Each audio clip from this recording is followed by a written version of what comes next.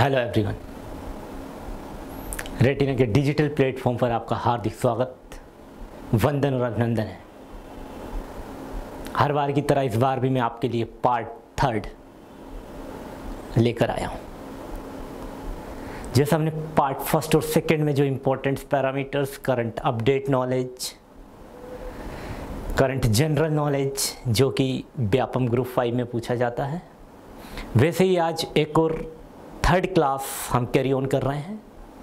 वो Madhya Pradesh professional examination board group five ने जो भर्ती निकाली नर्सिंग ऑफिसर के लिए, ये क्लास आपको 25 नवंबर को जो एग्ज़ाम होने जा रहा है, उसको क्रैक करने में और आपको सिलेक्शन में बहुत हेल्प करेगी। सो हम क्लास को कैरी ऑन करते हैं। हर बार की तरह इस बार भी इस पॉजिटिव मोटिवेशन और थॉट के साथ में हम क्लास को कैरी ऑन करेंगे। So here you can see everyone कि Dabangg class Dabangg MCQ class part third को हम देखेंगे। देखिए, कितनी खूबसूरत बात कही है किसी ने कि कांटों पर चलने वाले अपने मंजिल पर जल्दी पहुँचते हैं। कि कांटों पर चलने वाले अपनी मंजिल पर जल्दी पहुँचते हैं। क्योंकि कांटे कदमों की रफ्तार बढ़ा देते हैं। देखिए कि, किसी ने कितनी खूबसूरत बात कही है यहाँ पर कि कांटों पर जो लोग चलते हैं वो अपनी मंजिल बहुत जल्दी पहुँच जाते हैं। क्यों? कि कांटे चुभते हैं चुभते हैं तो हमारी रफ्तार तेज हो जाती है। डू यू अंडरस्टैंड तो आप समझ जाना यदि आपकी लाइफ में कोई प्रॉब्लम आ रही है, या बहुत सारी डिफिकल्टीज को फेस करके आप आगे बढ़ रहे हैं तो आप समझ जाइएगा कि आपका सिलेक्शन ज़्यादा दूर नहीं है। बहुत नियरेस्ट है। तो definitely you will reach to your destination understand okay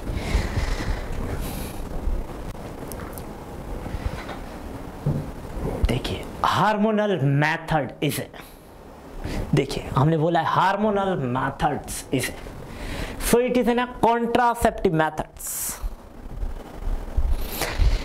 ये हमारी क्या है? फैमिली प्लानिंग की मेथड्स है। कॉन्ट्रासेप्टिव मेथड्स है, जिसको हार्मोनल मेथड्स कहते हैं। आप आप देखिए, हार्मोनल मेथड्स क्या हम कॉन्डोम को कहेंगे? नहीं। क्या हम माला डी को कहेंगे या माला एन को कहेंगे? यस और no I will give two more option jelly jelly को बोलेंगे या फिर हम कॉपर्टी को बोलेंगे। बताइए। Which is the right answer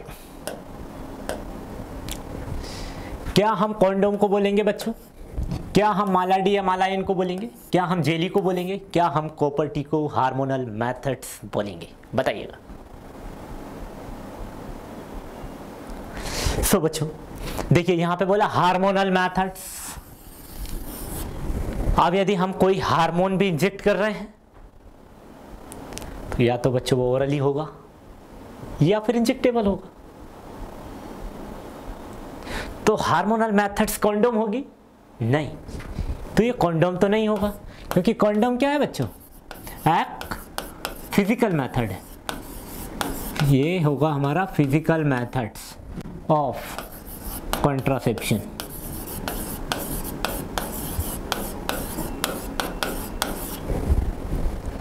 फिर हमने बोला यहाँ पर कि माला एन और माला डी तो मैंने आपसे कहा था कि माला डी और Mala N Mala N N denote करता है बच्चों निशुल्क। निशुल्क otherwise free of cost D four दुकान या शॉप्स तो आपको ये क्या मिलेगी? विथ मनी मतलब पैसे के साथ में मिलेगी। यदि माला इनकी बात करें बच्चे तो कभी आपको भूलना नहीं है फ्री ऑफ़ कॉस्ट जितने भी हमारे गवर्नमेंट के सेंटर्स हैं, आंगनवाड़ी हैं प्राइमरी हेल्थ सेंटर्स हैं कम्युनिटी हेल्थ सेंटर्स हैं डिस्ट्रिक्ट हॉस्पिटल्स हैं मेडिकल कॉलेज है, या फिर हेल्थ एंड वेलनेस सेंटर जिसको सब सेंटर के नाम से भी जानते हैं, हर जगह आप फ्री ऑफ़ कॉस्ट में माला इन मिलेगा। लेकिन माला डी आपको गवर्नमेंट सेंटर में नहीं मिलेगा। यह आपको सिर्फ़ दुकान पर मिलेगा, शॉप पर मिलेगा, मेडिकल स्टोर पर मिलेगा। तो ये हम, क्या होगा बच्चा? ये होगी हमारी टैबलेट। ये टैबलेट, हम हमेशा टैबलेट जो होती है ओरली लिया जाता है। तो हमारा आंसर राइट क्या होगा? Mala N and Mala D it is an hormonal methods of the contraception do you understand अब बात करें जेली। तो जेली हम क्या करेंगे? फिजिकली अप्लाई करते हैं। तो ये भी क्या है? फ़िज़िकल मेथड्स है। कॉपर्टी कॉपर्टी क्या है बच्चों? आईयूसीडी है। आईयूसीडी मतलब intra uterine contraceptive device intra uterine मतलब इनसाइड द यूट्रस हम उसको प्लेस कर रहे हैं। इंसर्ट कर रहे हैं। यूट्रस के अंदर। इसलिए हमने बोला इंट्रा यूट्राइन फिर हमने बोला कॉन्ट्रासेप्टिव मतलब कॉन्ट्रासेप्शन का ही एक टाइप्स है और एक ऐसी डिवाइस जो हम यूट्रस के अंदर इंसर्ट करते हैं। That is called S I और copper T do you understand okay so यहाँ तक क्लियर है? अब मैं आपको ऐसे ही बताऊँगा बच्चों कि कौन कौन से जो टॉपिक्स हैं, बहुत इंपॉर्टेंट रोल प्ले करेंगे। तो ये आपका हो गया बच्चों right answer that is Mala D और माला एन ओके अब मैं आपको बता दूँ कि यदि आपसे पूछे फैमिली प्लानिंग के टाइप्स कितने हैं या कॉन्ट्रासेप्शन के टाइप्स कितने हैं तो देखिए, यदि मैं बात करूँ फैमिली प्लानिंग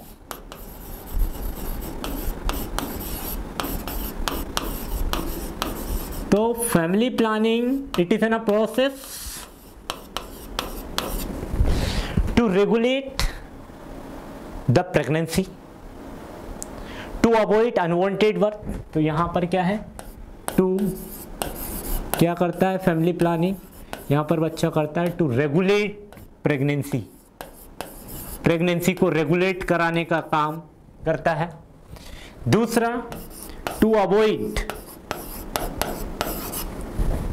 अनवांटेड बर्थ मतलब बच्चों, यहाँ पर ये जो दूसरा पॉइंट्स कह रहा है to avoid unwanted birth it means बच्चों, आप हमेशा याद रखना अनवांटेड वर्थ सपोज़ कभी किसी को कपल्स को बेबी नहीं चाहिए तो उसको अवॉइड कराने का काम भी फैमिली प्लानिंग कर। Then to avoid to bring about wanted birth to bring about wanted birth wanted birth अब तीसरा point to bring about wanted birth जब आपको बच्चा चाहिए जब आपको प्रेगनेंसी कंसीव करना है जब बेबी आपको कंसीव करना है आप कर सकते हैं. With the help of family planning family planning it is an a process which regulate the pregnancy to bring about wanted birth, to avoid unwanted birth, and to regulate the interval of pregnancy, and to regulate the intervals between pregnancies. Do you understand everyone ये क्या करेगा? जो दो pregnancy है suppose यहाँ पर lady pregnant हुई, अब दूसरी बार हुई, उसके जो बीच का जो ड्यूरेशन है, इसके बीच का जो इंटरवल है मिनिमम इसको रेगुलेट करने का काम भी फैमिली प्लानिंग करती है। इसलिए कहते हैं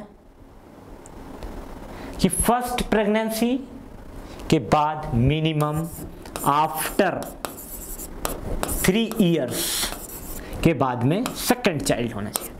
फ़र्स्ट ईयर का बेबी थ्री इयर्स का gap then second baby that is the meaning of four points. To regulate the interval between the pregnancy so these are the objectives you can say these are the objectives of the family planning or otherwise we can say it is in a definition of family planning okay so understood family planning it is in a process and to regulate the pregnancy to avoid unwanted birth to bring about wanted birth to regulate the interval between the pregnancy. Do you understand everyone? Okay. अब हम बात करें। तो मैं आपको बता रहा हूँ फैमिली प्लानिंग या फिर contraceptive methods contraceptive method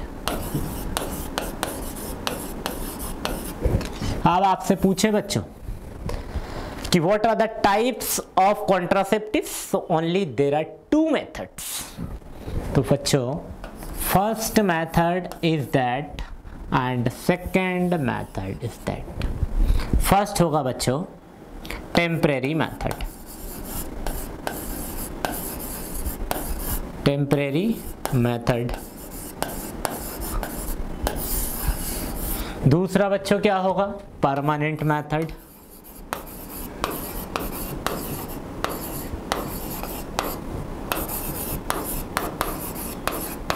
permanent methods तो आपने देखा कि कॉन्ट्रासेप्टिव मेथड्स या फैमिली प्लानिंग मेथड्स या कॉन्ट्रासेप्शन मेथड्स कितने टाइप्स की? दो।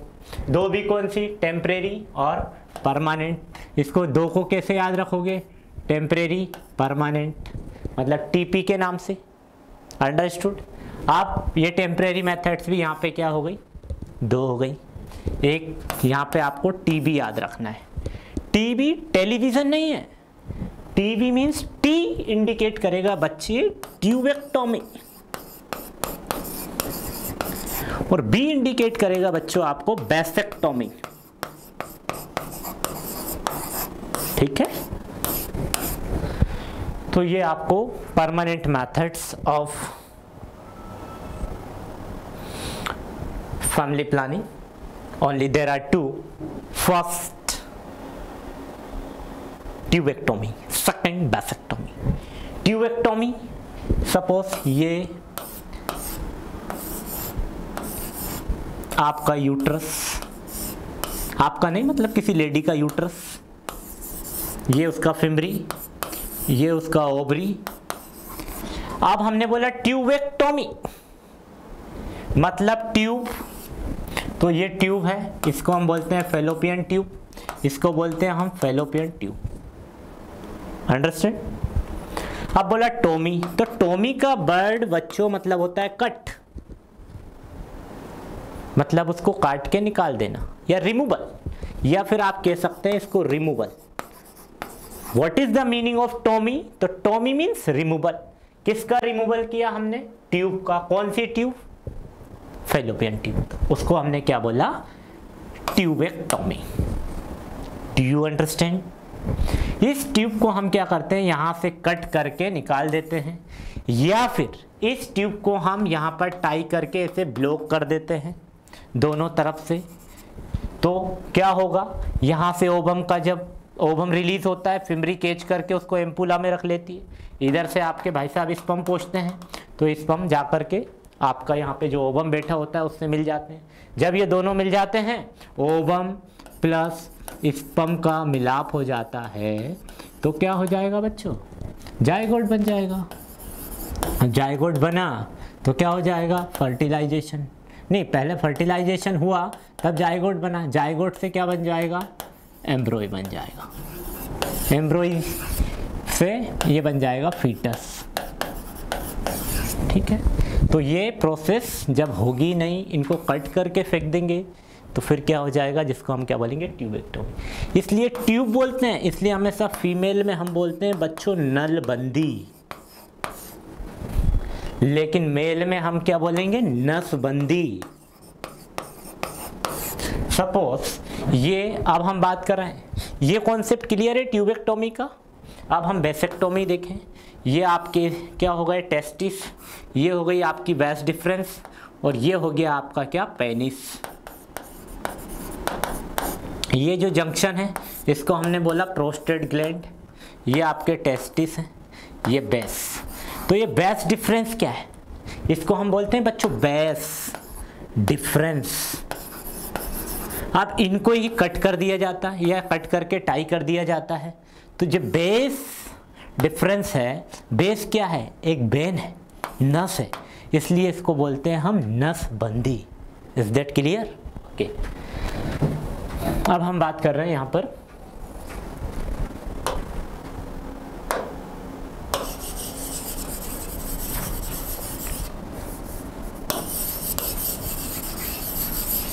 टेम्परेरी मेथड्स में ओनली फ़िज़िकल मेथड्स में कौन कौन सी मेथड्स होंगी, वो, और फिर हम एक ही क्लास एक बार लेंगे फैमिली प्लानिंग की तो उसमें आपको हम पूरी चीज़ें बताएँगे, फिर फैमिली प्लानिंग से बनने वाले जितने भी क्वेश्चन होंगे लाइफ में आप कोई सा भी एग्ज़ाम देंगे तो हम रेटिना के डिजिटल प्लेटफॉर्म पर आपसे प्रॉमिस करते हैं। यहाँ पर आपसे मैंने क्लास स्टार्ट करने के पहले भी कहा बच्चों कि यहाँ पर क्वालिटी के साथ कोई भी कॉम्प्रोमाइज़ नहीं किया जाता है।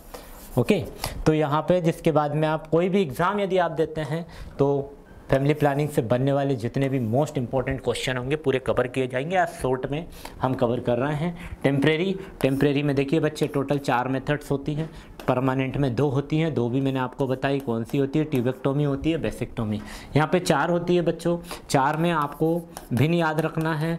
भिन्न से आपको बैरियर मेथड्स होगा, दूसरा बच्चा कौन सी होगी? हार्मोनल मेथड होगी, तीसरा होगा बच्चा इंट्रायूट्राइन, और फोर्थ जो होगा मेरे बच्चे, वो होगा आपका natural methods.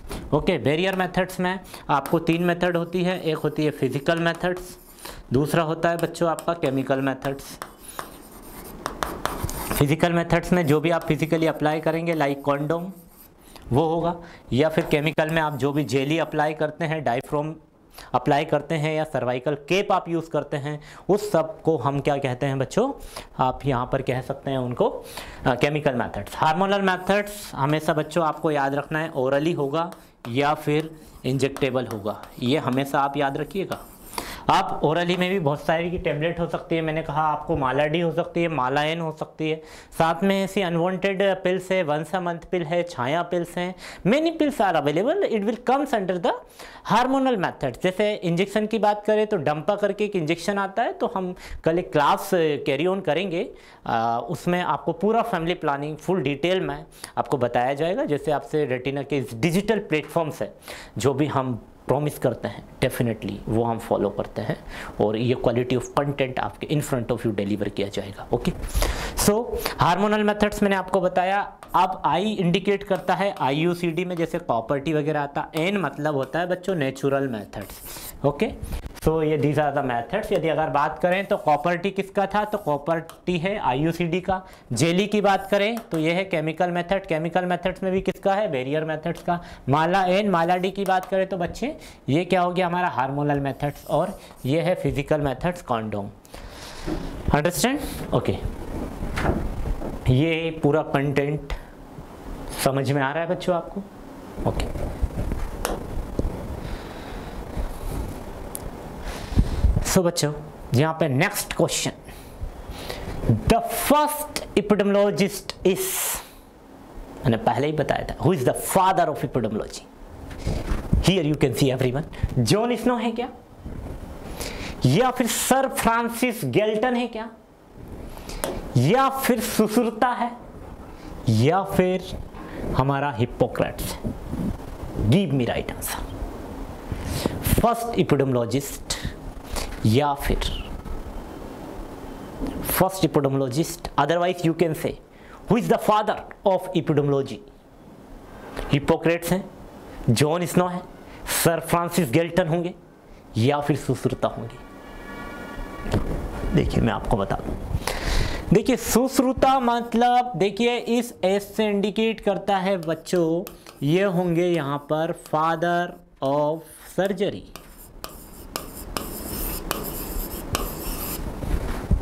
सुश्रुता कौन है? सर्जरी के पापा है। मैं हमेशा कहता हूँ, बच्चों, आप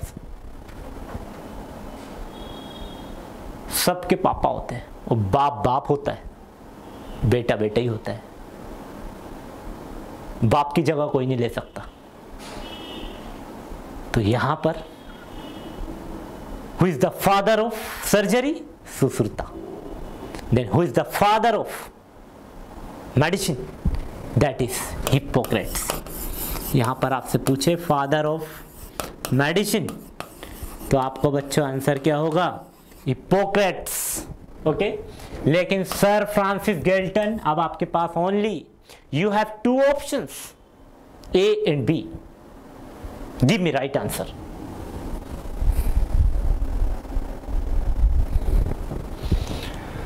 ना बी भी नहीं होगा। बी देखिए, ये होगा बच्चों बी है father of bio statistician bio statistics अब आपके पास एक ही ऑप्शन है जॉन स्नो जॉन स्नो कौन है?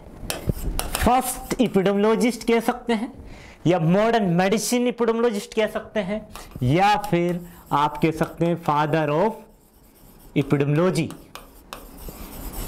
अंडरस्टूड अब epidemiology the word is derived from the Greek word epidemiology का मीनिंग क्या होगा बच्चों? वो मैं आपको बता देता हूँ।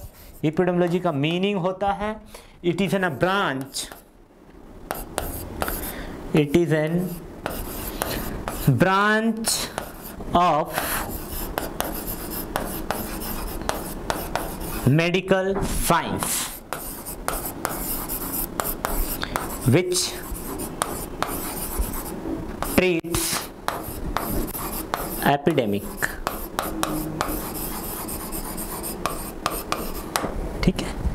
epidemiology क्या है? सॉरी एपिडेमोलॉजी क्या है? Epidemiology it is a branch of medical science देखिए, यहाँ पे लिखा branch of medical science which treats आप किसको ट्रीट करती है? किसका ट्रीटमेंट्स करती एपेडेमिक जहाँ भी पार्टिकुलर एरिया में बीमार लोगों की संख्या एक पार्टिकुलर डिसीज से बढ़ जाती है, उसको कंट्रोल करने के लिए, उसको ट्रीट करने के लिए उसको क्योर करने के लिए हमको इपिडोमोलॉजिस्ट की ज़रूरत होती या फिर उसको हम क्या कहते हैं? Epidemiology do you understand okay अब यहाँ पे आगे दूसरी स्लाइड मैं आपको बताऊँगा। देखिए right answer is that is John Snow अब मैं बताऊँगा इपिडोमोलॉजी क्या है। सो इपिडोमोलॉजी बच्चों epidemiology is derived from already I told it is an a Greek word Greek word से हुआ है। साथ में ईपी मतलब ओनली जो ग्रीक वर्ड है बच्चों, वो होंगे आपके थ्री सॉरी यहाँ पे थ्री ग्रीक वर्ड्स होंगे epi upon and the peoples तो ईपी ईपी मीन्स होता है upon and demos demos means बच्चों क्या होगा? पीपल और डिस्ट्रिक्ट और लोगोस मीन्स होगा स्टडी तो here you can see everyone कि मैं आपको बता दूँ, यहाँ पर कुछ sorry for the technical error की वजह से ये यहाँ पर जो वर्ड है, वो अच्छे से नहीं आ रहा है। तो मैं बता दूँ, आपको epidemiology is derived from the three Greek word three में वन टू थ्री पहला होगा हमारा ईपी अपोन एंड लोगोस आप हमेशा याद रखना बच्चों, जहाँ लोगोस वर्ड आ जाए लॉजी वर्ड आ जाए, जैसे बायोलॉजी माइक्रोबायोलॉजी साइकोलॉजी सोशियोलॉजी जितने भी वर्ड आ जाए। लॉजी मीन्स स्टडी तो लॉजी का मीनिंग ही होता है बच्चों स्टडी अब हमने बोला epi epi means upon and epi means upon होगा बच्चों। एंड सॉरी यहाँ पर डेमोस लिखना था मुझे।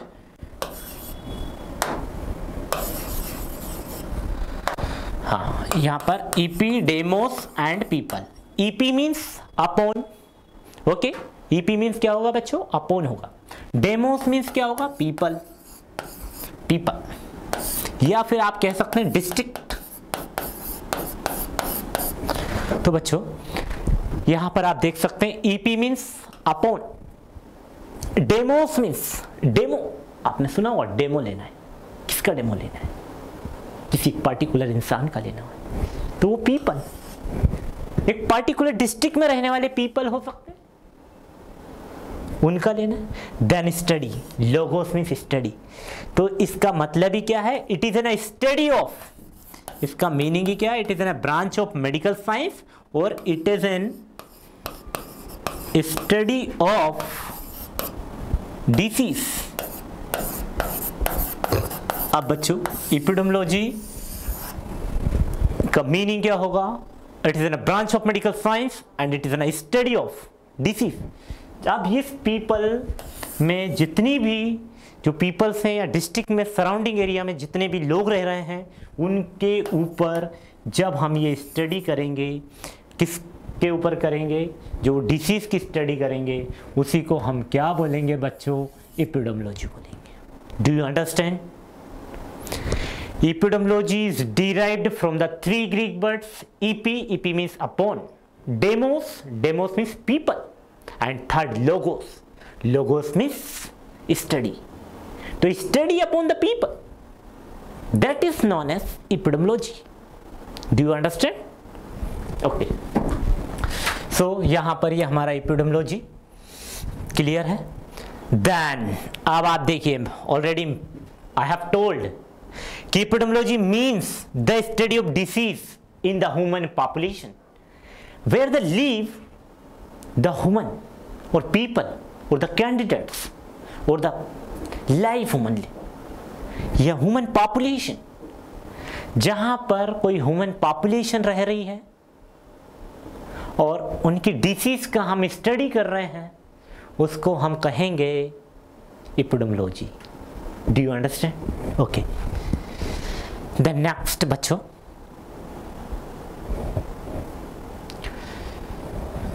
अब बहुत इंपॉर्टेंट क्वेश्चंस जो आपके सामने हैं स्क्रीन पर आपको दिखाई दे रहा होगा। The first things that the nurse must ensure when baby heads comes out देखिए, कितनी खूबसूरत बात है। फ़र्स्ट थिंग्स मतलब आपको याद रखना पहली थिंग्स क्या देखना है आप? नर्स को देखना है as a nurse as a future nursing officer as a nursing officer आपको क्या करना है? जब भी बेबी का हेड कम्स आउट हो, कहा? बेबी हमने किसको बोला? जिस मदर्स के बेबी बाहर आ रहा है मदर्स के यूट्रस से बाहर आ रहा है, जैसे यदि उसका हेड बाहर आएगा तो नर्स की क्या रिस्पॉन्सिबिलिटी होगी? या आप एक फ्यूचर नर्सिंग ऑफिसर हैं। तो what is your responsibility when the heads comes out from the vagina या from the uterus what you will do I will give four option which one is the correct the cord is intact the cord है बच्चे की। जो गर्भनाल है, वो intact होगी क्या? या फिर no part of the cord is encircling the body snake जो वो कोड हैगी बच्चों। वो कोड जो है, उसका कोई भी पार्ट बॉडी की नेक से सर्कलिंग होगा क्या? इनसर्कलिंग होगा। वो हमको देखना है। Third the cord is still attach to the placenta या वो कोड अभी भी प्लेसेंटा से अटैच है। या फिर the cord is still pulsating या वहाँ से पल्सेट हो रही है। So you have only four options A B C and D Which one is the correct? Give me answer fast. देखो बच्चों, जब भी नॉर्मल डिलीवरी होती है, या फिर कोई भी ऑपरेशन से डिलीवरी होगी, सबसे पहले हम बेबी का हेड कम्स आउट होता है बेजाइना से या अपडमन से सबसे पहले हम हेड में बच्चे को क्या देखेंगे? कॉर्ड या गर्भनाल तो नहीं है? That is the right answer B is the right answer okay तो हम देखेंगे ये बेबी का हेड आप इस हेड में कहीं वो कोड तो नहीं है? इन केस कोड है और बेबी का हमने मैकेनिज्म ऑफ़ लेबर अप्लाई किया, जिसमें आप इंगेजमेंट पढ़ते हैं इफेसमेंट पढ़ते हैं internal rotation of the shoulder ये सब चीज़ें पढ़ते हैं। तो उस समय यदि कोड है तो बेबी को क्या हो जाएगा? बेबी की डेथ हो सकती है। बर्थ आस्पेक्सिया हो सकता है। बेबी ब्रीथ नहीं कर पाएगा। बेबी सांस नहीं ले पाएगा अच्छे डेथ हो सकती है। तो इसलिए हमको जब भी आप तो as a future nursing officer as a nursing officer that is your responsibility first of all you have to check कि कोड यहाँ पर तो नहीं है। गर्भनाल यहाँ पर पूरी उसके सराउंडिंग द नेक तो नहीं है। इन सर्कलिंग तो नहीं हो रही। देखिए सर्कलिंग बोला है सर्कल ये ऐसा होता है। ये उसका हेड है। तो कोई वहीं पर तो सर्कल नहीं बन गया। इन सर्कलिंग तो नहीं हो रही है। तो यहाँ पर कोई भी पार्ट मतलब no part of the cord मतलब कोड का कोई भी पार्ट इन सर्कल नहीं है। और बॉडी के नेक में that is right answer do you understand everyone So this is your right answer. No part of the code is encircling body snake. Next questions. अब बच्चों the nurse is aware that the most common assessment finding in a child with ulcerative colitis बच्चा यदि, बच्चे को यदि colon में ulcer है, वो कोलोन, लार्ज इंटेस्टाइन का कोलोन हो सकता है। कोलोन हमारे चार होते हैं, transverse colon, ascending colon, descending colon और sigmoid colon. Do you understand suppose ये आपका यहाँ पर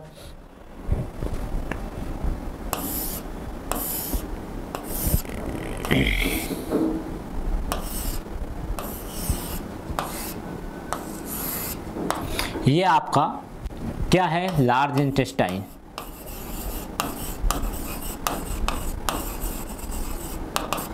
ठीक है? अब हमने बोला यहाँ पर कोलाइटिस मतलब कॉलोन के अंदर क्या है? Inflammation and infection in the colon अब कॉलोन है हमारे पास क्या? ये होता है बच्चों आपका असेंडिंग कॉलोन असेंडिंग कॉलोन ये होगा बच्चों आपका डिसेंडिंग कॉलोन कंफ्यूज नहीं होना है। असेंडिंग के सामने होगा डिसेंडिंग कॉलोन और फिर लास्ट में बचता है आपका सिग्मोइड कॉलोन सिग्मोइड कॉलोन फिर ये जो है, इसको हम बोलते हैं ट्रांसवर्स कॉलोन तो only you have four colon ascending colon second descending colon transverse colon and the sigmoid colon only there are four colon transverse ascending descending and sigmoid अब यहाँ पे बोला कोलाइटिस कोलाइटिस का मीनिंग मैं आपको बता दूँ यहाँ पे कि inflammation and infection in colon अब कोलोन के अंदर क्या है? यहाँ पर इन्फ्लामेशन होगा इन्फेक्शन होगा। अब बोला हमने अल्सरेटिव अब यहाँ पे भी हो सकता है अल्सर इधर भी हो सकता है, कहीं भी होगा। कॉन्सेप्ट क्लियर है? तो most common assessment finding as a nurse आपकी क्या होगी? तो this is the option these are the option first intense abdominal cramps यदि ऐसा हुआ तो बड्डे, बच्चे को जो चाइल्ड है, उसको एब्डोमिनल क्राम्प होगा क्या? या फिर प्रोफ्यूज डायरिया होगा, बच्चे को लूज मोशन होंगे, या फिर एनल फिशर होगा, या फिर अब्डोमिनल डिस्टेंशन होगा। Which one is the correct answer देखिए अब्डोमिनल क्राम्स तो होगा नहीं। क्यों? कि यहाँ पर हम स्टमक की बात नहीं कर रहे बात हम कर रहे हैं कॉलोन में। कॉलोन में भी कौन सा? लार्ज इंटेस्टाइन के कॉलोन तो ये अब्डोमिनल क्राम्स तो होगा नहीं। तो अब्डोमिनल क्राम्स नहीं हुआ तो अब्डोमिनल डिस्टेंशन का तो सवाल ही नहीं उठता है। वो ही नहीं। अब आपके पास only you have two option ना बच्चा ना। सी भी नहीं होगा। होगा तो प्रोफ्यूज डायरिया देखिए, मैं आपको बता दूँ कि लार्ज इंटेस्टाइन आपके जितने भी सोडियम पोटेशियम और वाटर का रीअब्जॉर्प्शन का काम होता है लार्ज इंटेस्टाइन का। जब हमारी कोलोन के अंदर इन्फ्लामेशन है इन्फेक्शन है, अल्सरेटिव कोलाइटिस है तो हमारी लार्ज इंसेस्टाइन क्या करेगी? वाटर का रीअब्जॉर्प्शन नहीं करेगी, और बच्चे को क्या होने लगेगा? डायरिया हो जाएगा। तो वाटरी फॉर्म में ये डायरिया, प्रोफ्यूज डायरिया होगा। अब हम देखेंगे कि वो प्रोफ्यूज डायरिया किसको बोलते हैं? Which one is the correct that is B is the correct answer and profuse diarrhoea is the correct answer then severe diarrhoea की अगर हम बात करें तो इसमें इसमें होगा blood and mucus profuse diarrhoea is different severe diarrhoea is different and यदि हम क्रॉन्स डिसीज में देखें बच्चों तो यहाँ पर जो आपका सीवियर डायरिया है सीवियर डायरिया के अंदर कंटेंट आपको मिलेगा जब किसी को ज़रूरत से ज़्यादा दस्त होने लगते हैं तो ब्लीडिंग होगी. विथ स्टूल और म्यूकस होगा तो वो क्या होगा? सीवियर डायरिया ओके लेकिन क्रोन्स डिसीज की अगर हम बात करें क्रोन्स डिसीज में डायरिया जो होगा सेमी सॉलिड होगा, इसके जो कंटेंट होंगे तो म्यूकस म्यूकस के साथ में पस होगा, लेकिन ब्लड नहीं होगा। आपसे बता देता हूँ मैं सीवियर डायरिया सीवियर डायरिया में आपको देखने को मिलेगा बच्चों ब्लड एंड पस ठीक है? That is the main sign and symptoms of severe diarrhoea do you understand okay can we go for next question okay so हमारी और आपकी रेटिना नर्सिंग एकेडमी आपके लिए सेवन्थ नवंबर से, बच्चों में बता दूँ सेवन्थ नवंबर से offline batch offline batch start करने जा रहा है। इसके अभी न्यू बेच के लिए रजिस्ट्रेशन ओपन है तो आप रेटिना नर्सिंग एकेडमी का गूगल ऐप से, गूगल प्ले स्टोर से आप Retina Nursing Academy app download कर सकते हैं। और वहाँ से आप फॉर फर्दर इंफॉर्मेशन कर सकते हैं। साथ ही या फिर रेटिना के हेल्पलाइन नंबर पर आप कॉल कर सकते हैं फॉर मोर इन्फॉर्मेशन तो ये सेवन्थ नवंबर 2022 को एक ऑफलाइन बेच स्टार्ट होने जा रहा है। तो इसके लिए अभी रजिस्ट्रेशन ओपन है।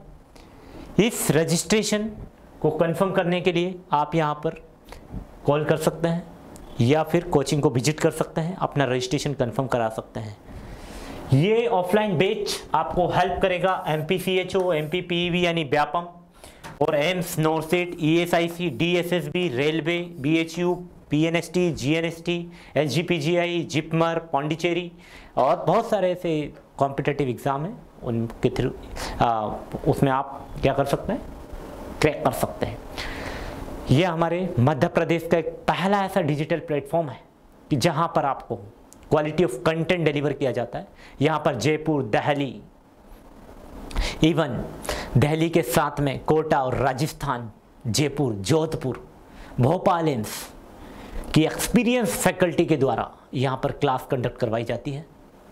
और उस क्लास में बहुत important session important topic important content important quality of content deliver किए जाते हैं in front of you Bhopal Madhya Pradesh में पहली ऐसी कोचिंग है और जो अपने डिजिटल प्लेटफॉर्म पर के माध्यम से आपको सूचित करने जा रही है। तो बने रहिएगा। नेक्स्ट दूसरी चीज़ यह है कि आपके लिए यहाँ पर व्यापम ग्रुप फाइव या फिर जिसको आप कहेंगे M P P V Madhya Pradesh professional examination board group five को क्रैक करने के लिए हमारी नर्सिंग एकेडमी ने टेस्ट सीरीज़ लॉन्च की है बच्चों। इस टेस्ट सीरीज़ को आप बाय कर सकते हैं, या तो आप गूगल प्ले स्टोर के माध्यम से रेटिना नर्सिंग एकेडमी का ऐप डाउनलोड करेंगे, उसके माध्यम से कर सकते हैं। अन्यथा आप रेटिना के हेल्पलाइन नंबर पर फ़ोन पे और पेटीएम कर सकते हैं। उसके बाद में आप टेस्ट सीरीज़ को वाई और परचेज कर सकते हैं, और आप एम पी व्यापम में सेलेक्ट हो सकते हैं। ओके? तो मिलते हैं फिर नेक्स्ट पार्ट फोर में। M P P B Madhya Pradesh professional examination board Vyapam group five बने रहिए आप रेटिना नर्सिंग एकेडमी के साथ। रेटिना नर्सिंग डिजिटल प्लेटफॉर्म से आपसे प्रॉमिस करता है कि यहाँ पर एक क्वालिटी ऑफ़ कंटेंट और ज़्यादा से ज़्यादा आपको सिलेक्शन देखने को मिलते हैं। तब तक के लिए नमस्कार। जय हिंद, जय भारत।